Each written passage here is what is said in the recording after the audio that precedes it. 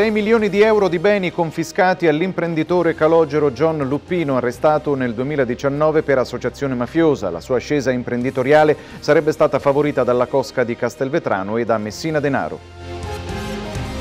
Accompagnata dalle polemiche ieri sera in Consiglio Comunale l'approvazione del debito fuori bilancio nei confronti di Sogeir. Approvate le variazioni al piano triennale e al bilancio a seguito dei dinanziamenti del PNRR. Ciò che è successo ieri sera in Consiglio conferma che l'amministrazione se vuole andare avanti deve coinvolgere il Consiglio Comunale e non limitarsi a trasmettere le delibere, tra l'altro in ritardo, così oggi Filippo Bellanca. A Ribera si dimettono dalla giunta municipale tre assessori. Si tratta di Tramuta, Caico e Ragusa. Tutti e tre di diventerà bellissima. Dimissioni legate alla richiesta avanzata da Forza Italia di entrare a far parte dell'esecutivo. A pochi giorni dalla scadenza del contratto è arrivata la proroga, seppur solo per due mesi, per i precari Covid in Sicilia, che riguarda anche amministrativi e tecnici. Il provvedimento è stato approvato dall'Assemblea regionale siciliana. Solidarietà, oltre 3.500 euro la somma raccolta ieri sera attraverso la tombola di beneficenza organizzata dalle associazioni Orazio Capurro, Amore per la Vita e Agape Onlus. Serviranno per acquistare generi alimentari per famiglie bisognose. Benvenuti in studio dalla redazione giornalistica di Telemontecronio. Siamo in, in, apertura mafia è di circa 6 milioni di euro il valore dei beni confiscati all'imprenditore del settore delle scommesse calogero John Luppino, arrestato nel 2019 per associazione di stampo mafioso. La sua ascesa imprenditoriale sarebbe stata favorita dalla potente cosca di Castelvetrano e da Matteo Messina Denaro. Vediamo il servizio.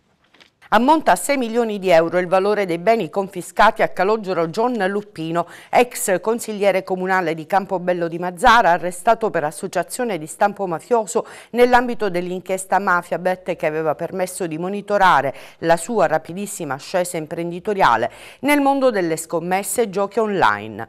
Il provvedimento è stato eseguito dai carabinieri del comando provinciale di Trapani e scaturisce a seguito del sequestro di beni operato sempre dai carabinieri di Trapani e del ROS nel marzo 2021.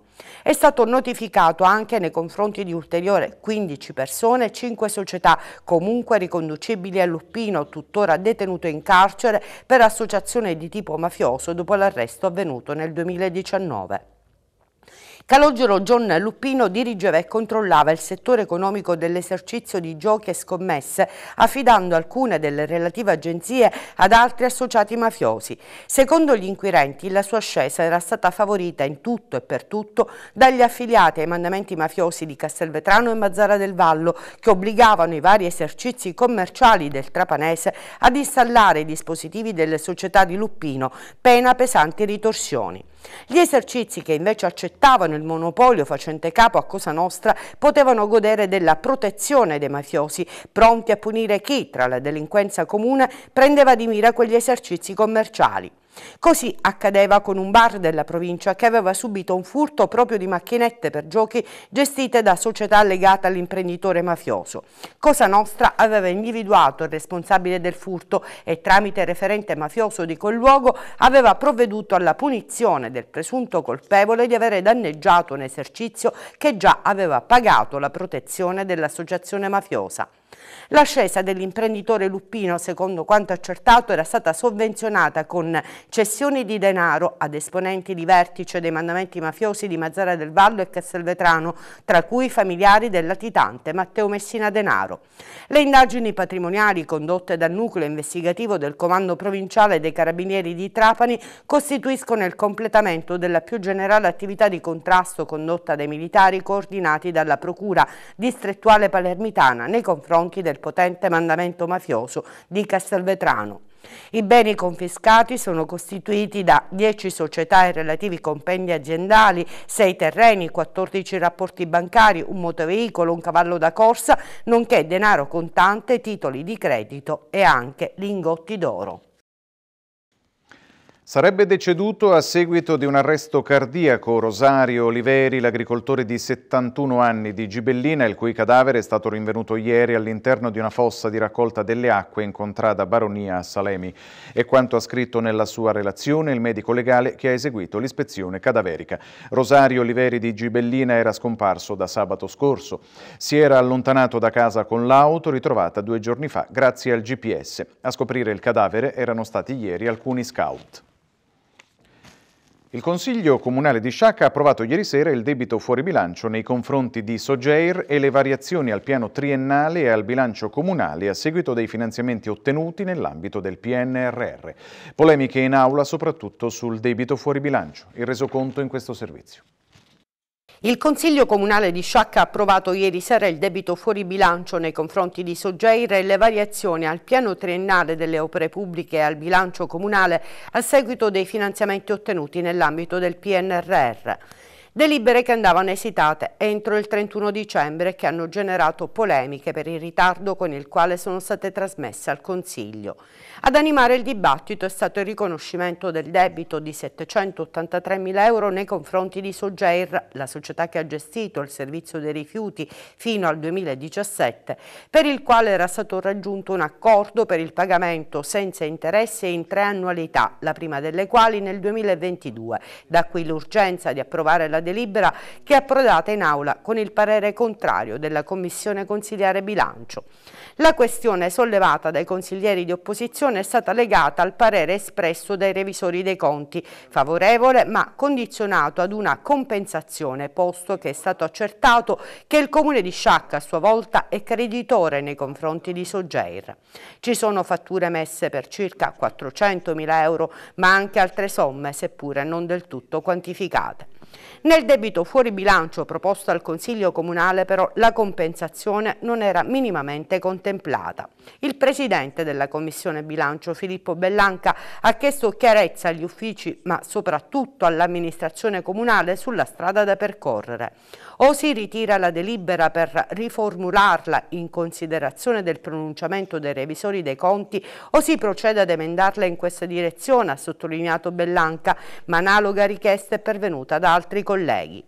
Sia gli uffici sia l'amministrazione comunale non hanno ritenuto però di ritirare la proposta per riformularla né hanno condiviso la necessità di emendarla.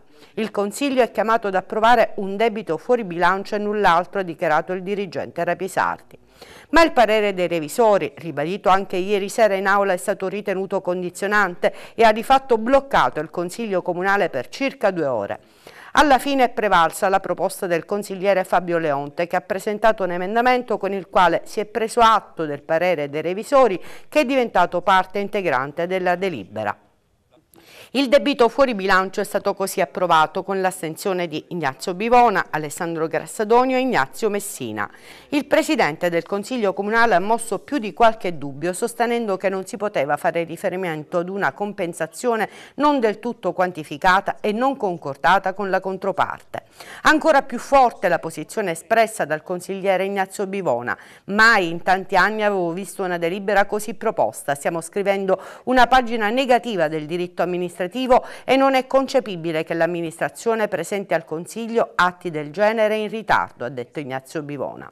Il collega Calogero Bona ha evidenziato come il Consiglio Comunale, soprattutto l'opposizione, posto che in maggioranza consigliare in aula, si sia ritrovato ad operare tra l'incudine e il martello, tra un parere dei revisori di cui tenere conto e la bocciatura dell'atto che avrebbe potuto generare un contenzioso con Soggeir e un conseguente danno per l'ente.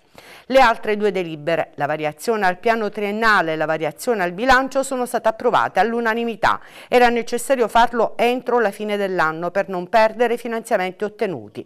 Risorse importanti del PNRR che consentiranno la realizzazione dell'asilo nido in via Gramsci, ma anche importanti interventi nel settore sociale. Tra questi l'housing temporaneo che verrà realizzato nell'immobile confiscato alla mafia in via Valverde e la stazione di posta da attivare nell'ex casa rurale di Contrada Sovareto. Struttura il servizio di chi vive situazioni di particolare disagio. La prima parte dei lavori consigliari era stata dedicata alla trattazione delle interrogazioni, alcune delle quali già superate, altre relative a tematiche come l'illuminazione pubblica o le buche ancora da risolvere. Quanto è successo ieri sera conferma che l'amministrazione comunale, se vuole andare avanti, deve coinvolgere il Consiglio comunale e non limitarsi a trasmettere delibere, peraltro in ritardo. Lo dichiara oggi il Presidente della Commissione Bilancio, il consigliere Filippo Bellanca. Ascoltiamo l'intervista. Consigliere Bellanca, ieri sera il Consiglio Comunale alla fine ha approvato sia il debito fuori bilancio nei confronti di Soggeir sia le variazioni, però dopo non poche discussioni relative al fatto che gli atti insomma, non erano proprio del tutto completi. Una eh, questione questa che voi sollevate da tempo. Sì, non solo non completi come lei ha detto, ma eh, c'è un problema appunto anche di tempistica perché eh, se l'atto arrivasse una, con una tempistica eh, più ampia eh, tutti avremmo la possibilità di eh, affrontare, discutere ed eventualmente sistemare le cose, invece ci troviamo molto spesso ultimi, nelle ultime settimane a dover affrontare queste problematiche in aula, in seduta di Consiglio Comunale e non è una cosa bella anche quello che è successo ieri sera. tant'è che la commissione da lei presieduta alla fine aveva espresso un voto contrario con l'astensione degli esponenti dell'opposizione, sì, cioè succede anche questo. Ci siamo astenuti proprio per questo motivo, perché lì è, è, il problema è nato con il parere dei revisori dei conti. E cioè la delibera era una, apparentemente una semplice delibera di riconoscimento di debito fuori bilancio, lettera E, cioè senza sentenza, e quindi con un accordo con la controparte. E di fatto però poi i revisori il parere non l'hanno rilasciato nella, semplicemente nella delibera di debito fuori bilancio, ma hanno detto che questo debito andava compensato con i crediti, eh, crediti certi dicono i revisori, eh, nei confronti della Soggeri, cioè delle fatture che il comune di Sciacca ha emesso alla Soggeri per circa 410 mila euro eh, di royalty ovviamente che doveva la Soggeri al comune e quindi il, il, il revisore dei conti hanno scritto nel parere che il Consiglio Comunale doveva obbligare gli uffici finanziari a compensare queste somme. Capite bene che è un po' complicata questa cosa perché noi dobbiamo obbligare gli uffici, mi sembra una cosa un po', un po' diciamo come è stata difficile. Poi abbiamo trovato una, una via di mezzo che eh, consentisse tutti di stare un po' più sereni perché il problema del debito fuori bilancio è l'eventuale debito erariale che si può creare, che si può arrecare al comune, all'ente in questo caso. Quindi eravamo incastrati dal fatto bocciarlo, era complicato appunto perché potevamo arrecare danno in quanto decate, decadeva completamente quell'accordo l'accordo che c'era con la ditta e cioè la rinuncia agli interessi, se approvarlo in questa maniera con il parere dei revisori che obbligavano la compensazione era pure complicato, alla fine abbiamo trovato una soluzione che eh, è quella di calare questo parere all'interno della delibera. Questo perché? Perché così gli uffici, con il parere pure degli uffici e dell'amministrazione, abbiamo fatto diventare quel parere non solo un parere che noi era nostro vincolante per noi, ma era vincolante anche per l'amministrazione e per gli uffici finanziari del comune, per l'ente. Quindi diciamo, abbiamo trovato questa soluzione per uscircene. Sullo sfondo c'è una questione politica, ossia il fatto che l'amministrazione non ha una maggioranza in consiglio comunale e che la vostra parte politica si sente in un certo modo responsabile poi, ma perché è... Eh, eh, potrebbe determinare la bocciatura degli atti? Guardi, eh, il problema è questo, ci troviamo in una situazione veramente difficile, eh, devo dire complicata anche per la maggioranza politica, noi siamo la maggioranza numerica, loro la maggioranza politica stessa sono in forte difficoltà, eh, vedo il, il, mio amico il consigliere Leonte spesso in serie difficoltà in quell'aula e questo perché? Perché tutto dipende dalle nostre scelte, però è chiaro che poi le scelte sono, diventano quasi obbligate per il fatto che se arrivano delle delibere che, come quelle di ieri sera di variazioni di bilancio, di fondi PNRR,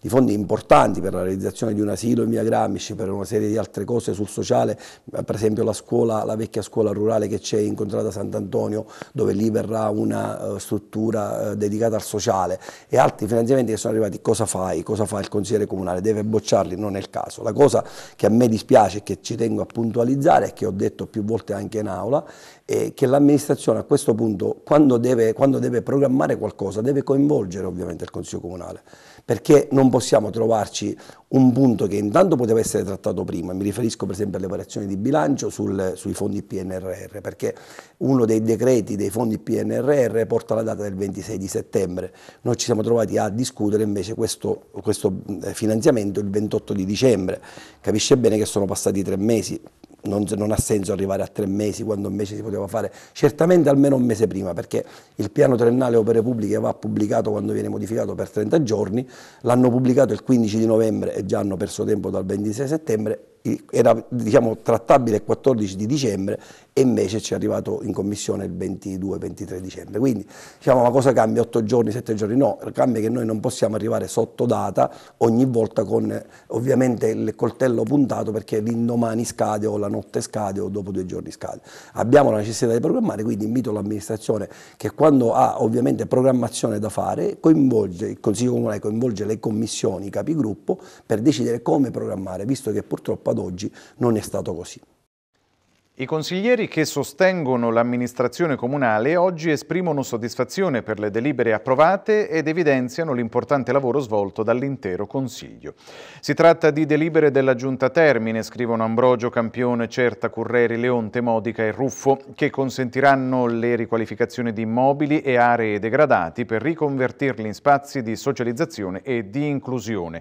Progetti approvati all'unanimità, di grande rilevanza sul piano della rigenerazione urbana per una ammontare complessivo di 7 milioni di euro che saranno fondamentali, evidenziano i consiglieri di maggioranza, per dare risposte importanti sia nell'ambito degli sbocchi lavorativi, sia sul piano del decoro urbano, ma soprattutto in quello dei servizi a sostegno delle categorie fragili.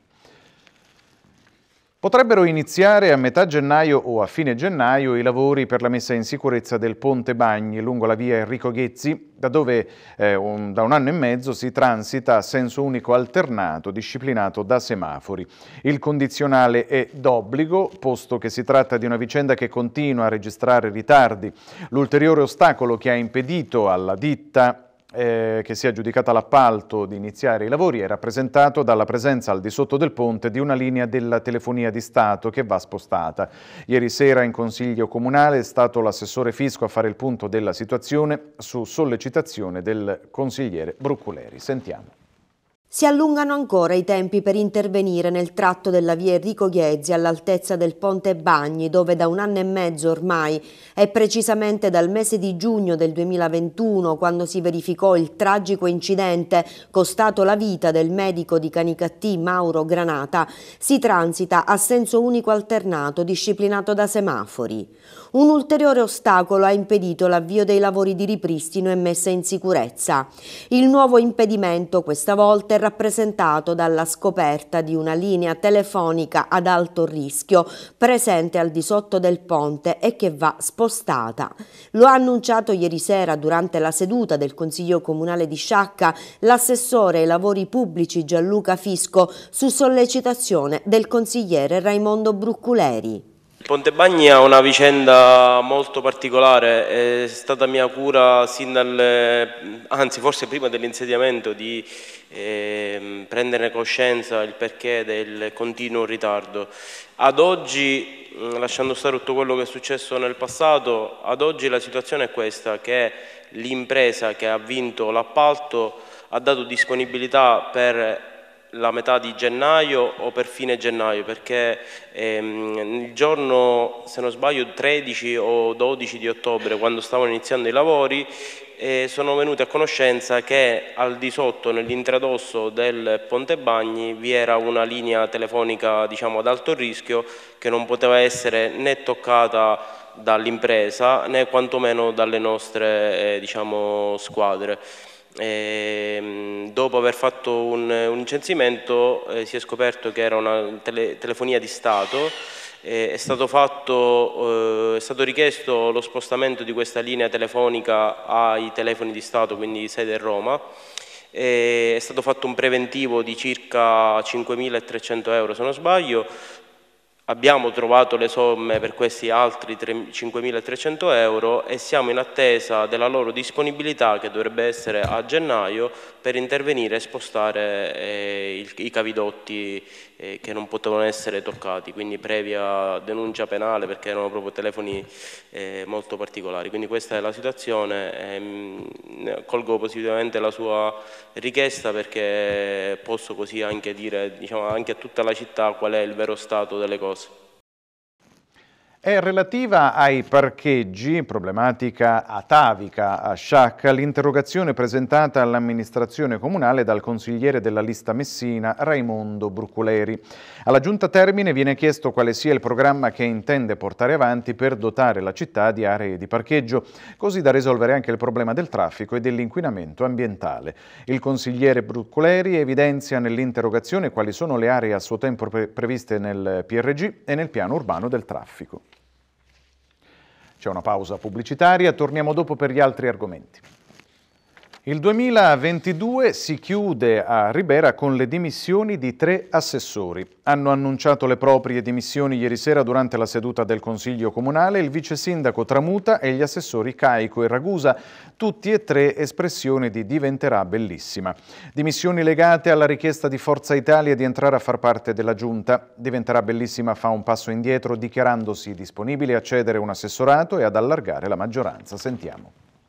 Si sono dimessi dalla giunta municipale di Ribera il vice sindaco Giuseppe Tramuta e gli assessori Davide Caico e Mariella Ragusa. Lo hanno annunciato ieri sera durante la seduta del Consiglio Comunale. La questione ruoterebbe attorno a Forza Italia e alla richiesta del partito di Berlusconi, avanzata dopo le elezioni regionali dello scorso mese di settembre, di entrare a far parte della giunta. Gli assessori dimissionari sono tutti e tre espressione di diventerà bellissima e dunque vicini al ministro ed ex presidente della regione Nello Musumeci. Vogliamo favorire un chiarimento politico e aiutare il sindaco a trovare una soluzione, dice Tramuta, ma in piena armonia e senza scontri. La città non può essere governata con solo otto consiglieri, è necessario allargare la maggioranza per dare stabilità all'attività amministrativa, dice Davide Caico. Il gruppo diventerà bellissima che in consiglio comunale è presente con quattro consiglieri è insomma disponibile all'allargamento della maggioranza e accedere un assessorato. Forza Italia sembrerebbe orientata ad indicare come assessore la consigliera comunale Enza Mulè.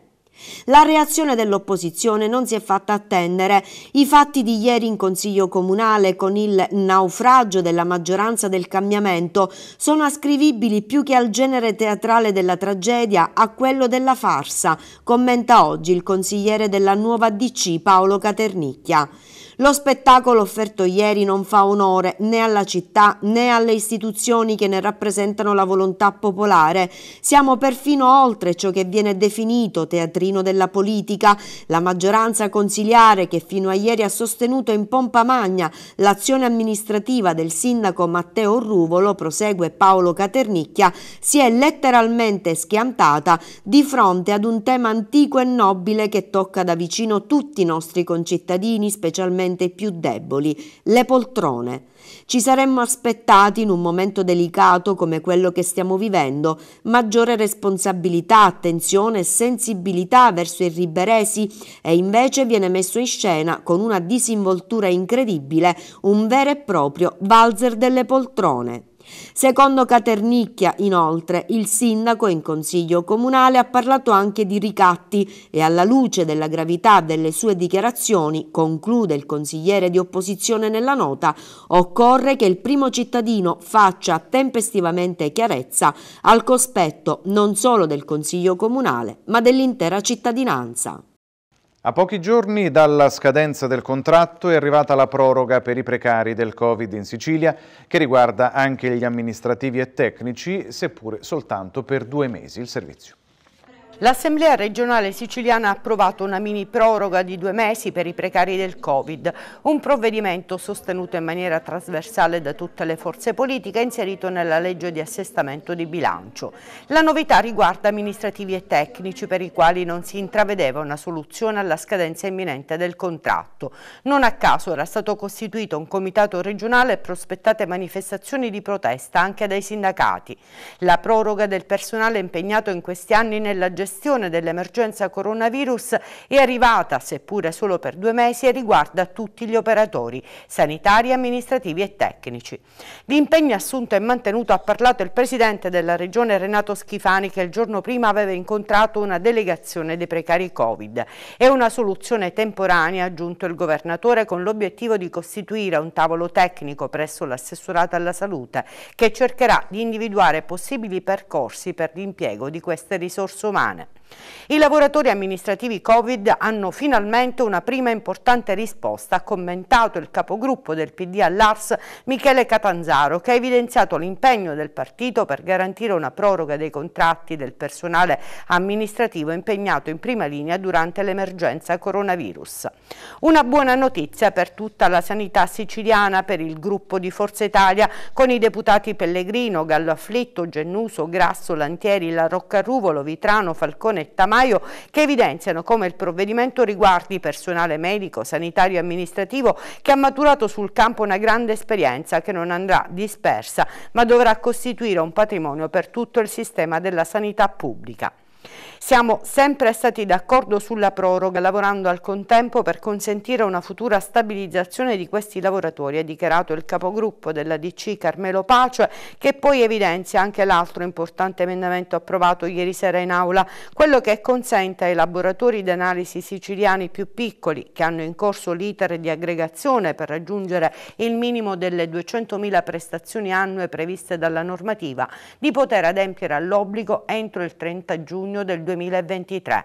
La scadenza originaria era fissata a fine dicembre 2022. È un'importante proroga che senza comportare alcuna spesa per la Regione renderà più agevole per i lavoratori più piccoli l'adempimento di un iter burocratico complesso, ha concluso Carmelo Pace. Introdurre e regolamentare la PET therapy all'interno di ospedali, case di riposo, centri di riabilitazione e scuole.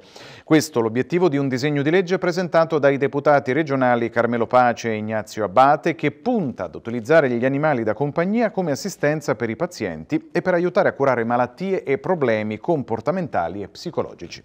Previsti anche percorsi formativi per gli operatori ed equip mediche. Vediamo il servizio. Animali domestici per aiutare a curare malattie e problemi psicologici e comportamentali. Questo è l'obiettivo di un disegno di legge presentato dai, deputati regionali della Nuova Democrazia Cristiana Carmelo Pace e Ignazio Abbate, una legge che dovrebbe permettere l'introduzione e la regolamentazione della cosiddetta pet therapy per uso medico e per aiutare chi soffre di determinate patologie come ad esempio depressione o autismo. Secondo il DDL, la PET therapy, largamente usata già in altre regioni italiane e stati esteri, potrebbe essere introdotta ufficialmente anche in Sicilia, all'interno di ospedali, scuole, centri di riabilitazione, centri residenziali sanitari, case di riposo, istituti di detenzione, comunità di recupero, centri privati, centri gestiti da cooperative sociali e fattorie terapeutiche e didattiche. L'iniziativa di Pace ed Abate prevederebbe tre programmi specifici denominati rispettivamente terapia assistita con animali, educazione assistita con gli animali e attività assistita con animali e sarebbe portata avanti soltanto con animali appartenenti a specie domestiche di età non inferiore a 12 mesi, sottoposti regolarmente al programma sanitario e che ne attesti costantemente lo stato di buona salute. I programmi dovrebbero essere realizzati attraverso l'ausilio di equip multidisciplinari, esperte in interventi assistiti con gli animali, quindi da figure qualificate, con l'aggiunta di un medico veterinario e di un operatore con specifica preparazione nell'interazione con la specie animale di riferimento. In tal senso la Regione siciliana dovrebbe farsi carico di avviare corsi di formazione ed aggiornamento per gli operatori dell'equipe e di istituire una vera e propria commissione per la terapia e le attività assistite con animali.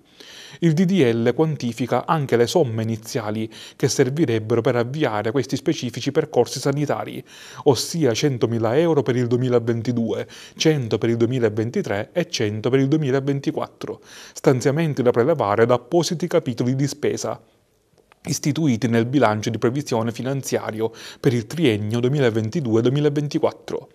Con il presente disegno di legge, dicono Pace ed Abate, si intende riconoscere il valore terapeutico e riabilitativo degli animali domestici a supporto di tutti i soggetti con patologie neuromotorie, cognitive o psichiatriche finalizzato a migliorare la qualità della vita. Diversi studi scientifici infatti hanno dimostrato che durante le sedute di pet therapy il paziente che giornalmente si trova in uno stato d'ansia e di preoccupazione migliora notevolmente lo stato d'animo.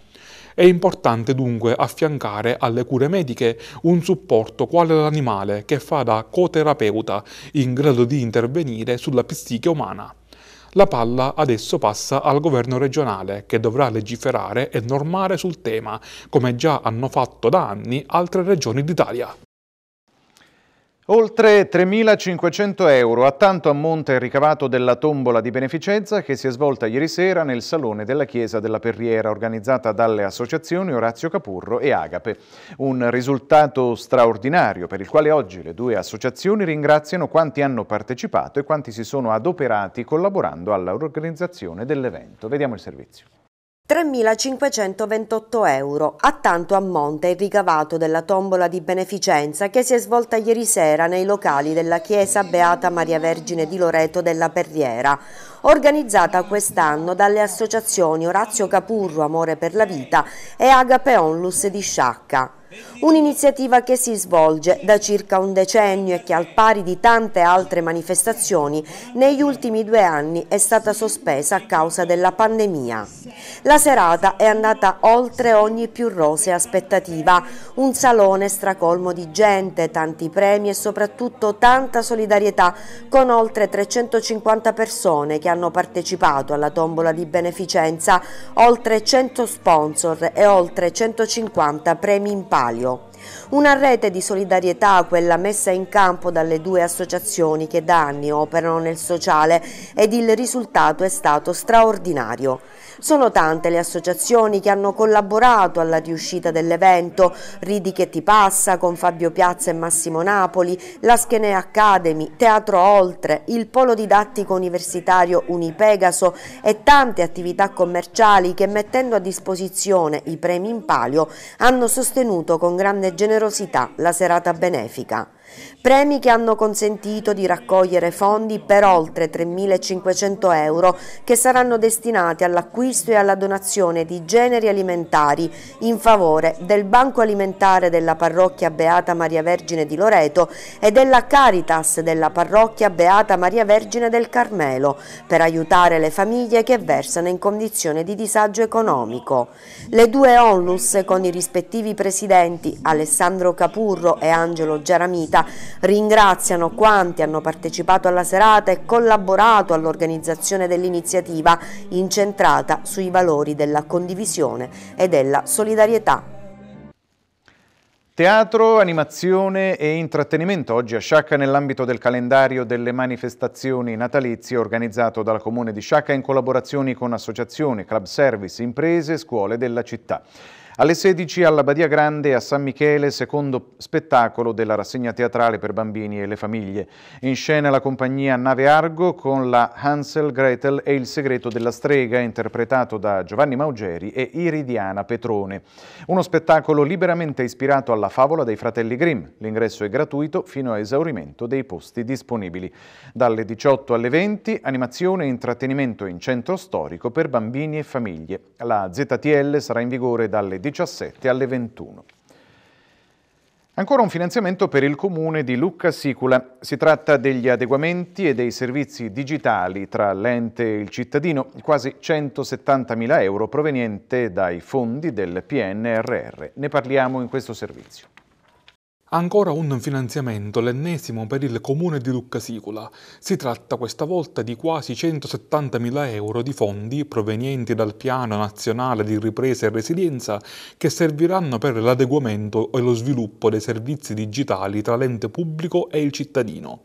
Nello specifico si leggono nei decreti di finanziamento quasi 48.000 euro per l'abilitazione al cloud per le pubbliche amministrazioni locali, di altri circa 18.000 euro per l'adozione della piattaforma Pagopa, di quasi 8.000 euro per l'adozione dell'app IO per i comuni, di altri 80.000 euro per il miglioramento dell'esperienza del cittadino nei servizi pubblici e infine di ulteriori 14.000 euro per l'estensione dell'utilizzo delle piattaforme nazionali di identità digitale SPID CIE per un totale quindi di circa 170.000 euro di fondi del PNRR. A darne comunicazione l'amministrazione comunale lucchese guidata dal sindaco Salvatore Dazzo. Per il piccolo comune agrigentino un 2022 che si chiude così per come era cominciato, ossia contrassegnato dai decreti di finanziamento ottenuti. Esprimo soddisfazione, dichiara il sindaco di Lucca Sicura Salvatore Dazzo, per questo ulteriore risultato e finanziamento raggiunto, con l'ausilio dell'amministrazione, del Consiglio Comunale e degli uffici comunali preposti. Si chiude un 2022 davvero eccezionale in termini di risultati e di finanziamenti conquistati dal nostro comune. Una comunità che, seppur piccola, passo dopo passo sta diventando sempre più bella, funzionale, accogliente e a misura di cittadino e di visitatori. Sono risultati, conclude il sindaco Dazzo, resi possibili grazie alle interlocuzioni costanti e dirette che porto avanti con gli uffici regionali e nazionali preposti. Stiamo facendo tutto il possibile per il miglioramento del nostro paese e per farlo uscire da quella marginalità territoriale a cui per troppo tempo, suo malgrado, è stato relegato. Siamo sicuri che anche i primi mesi del 2023 saranno importanti, perché da un lato avremo la conclusione positiva di alcuni cantieri pubblici già avviati nei mesi scorsi e dall'altro si apriranno altri nuovi cantieri cittadini che fanno seguito ai finanziamenti già ottenuti e decretati, come ad esempio le opere idrauliche del canale di Gronda contro i rischi idrogeologici e quelli per il rifacimento esterno ed interno del palazzo comunale. E adesso per la cultura la nostra consueta pagina, la rubrica del libro del giorno. Marisa guarda con sgomento la classifica dei libri più venduti. In cima c'è il romanzo che ha tra le mani. L'ha sfogliato e ha riconosciuto ogni pagina, ogni riga, ogni vocabolo. Questo è il libro che ha pubblicato vent'anni prima, solo che ora il nome dell'autore in copertina è un altro e lei non sa chi sia. Qualcuno ha copiato il suo romanzo. Marisa non sa che fare perché non può dimostrare che si tratti della stessa storia scritta con le stesse parole. Non può farlo perché quando ha pubblicato il suo esordio è stato un totale fallimento e ne ha distrutto ogni copia, ogni file. Invece ora qualcuno con quello stesso libro sta avendo successo e in vetta alle classifiche. Marisa non ha idea di come sia potuto accadere, ma deve vendicarsi. Anche se non ha le prove, non può permettere che questo plagio vada avanti. Ricorda perfettamente come funziona il mondo editoriale, ne conosce tutte le leggi, deve solo provare a entrarci, in qualche modo nessuno si ricorderà di lei e deve riuscire ad avvicinare l'autore dell'imbroglio. Basterà giocare sulle sue ossessioni di scrittore che lei conosce bene per portarlo alla verità Basterà far vacillare le certezze della sua creatività per ottenere quello che vuole, un piccolo peccato solo per amore della giustizia. I peccati di Marisa Salas, di Clara Sanchez, edito Garzanti. Ed infine pulizia della spiaggia della Tonnara il 3 gennaio prossimo. È la prima iniziativa del nuovo anno da parte di Mare Vivo ed è promossa in collaborazione con il Comune di Sciacca e l'Istituto Amato Vetrano. Vediamo il servizio. La delegazione siciliana di Mare Vivo Onlus si prepara a festeggiare l'arrivo del nuovo anno con nuove iniziative per la salvaguardia del mare e dell'ambiente e promuove una prima azione di pulizia della spiaggia. Il 3 gennaio i volontari dell'associazione ambientalista si ritroveranno presso la spiaggia della Tonnara di Sciacca dalle ore 9 alle 13 per un'attività di pulizia e rimozione dei numerosi rifiuti presenti, soprattutto plastica e polistirolo. È la prima azione concreta del nuovo anno e punta ad affermare il valore etico della campagna nazionale di Mare Vivo Onlus adotta una spiaggia che tra i tanti tratti di costa adottabili da poco ha inserito anche la spiaggia della Tonnara di Sciacca. L'iniziativa, come si ricorderà, è stata presentata ufficialmente lo scorso 14 dicembre alla presenza della Capitaneria di Porto, dei rappresentanti del Comune e degli alunni dell'Istituto Amato Vetrano che a partire da gennaio inizieranno a prendersi cura della spiaggia su cui insiste il proprio convitto. L'attività di pulizia sarà seguita da quella di campionamento dei rifiuti che prevede la suddivisione dei rifiuti raccolti in diverse categorie sottoposte poi al conteggio e alla loro pesatura. I dati raccolti contribuiranno ad alimentare il monitoraggio a livello mondiale delle tipologie più frequenti di rifiuti rinvenuti sulle spiagge al fine di poter trovare misure di prevenzione che limitino il loro abbandono nell'ambiente. L'attività del 3 gennaio vede anche la collaborazione del Comune di Sciacca, dell'Istituto Istituto Amato Vetrano e dei partecipanti al recente corso per educatori ambientali che l'associazione Mare Vivo ha promosso a Sciacca per diffondere sempre di più l'importanza dell'impegno e dell'informazione sulle grandi emergenze ambientali.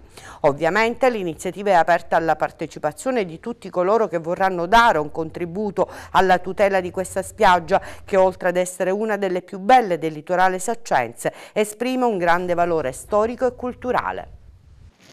E con quest'ultima notizia per il momento è tutto, ci fermiamo qui, grazie come sempre per l'attenzione. E arrivederci.